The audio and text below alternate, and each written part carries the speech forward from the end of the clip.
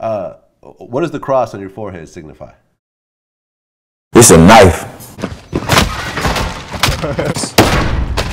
You got. Hey, dude. I hit him a couple times.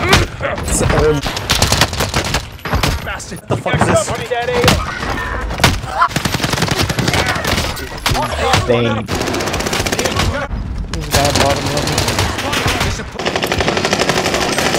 Dude, these guys are fucking rats. What the fuck?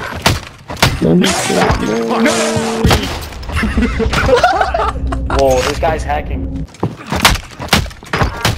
That was a fuck.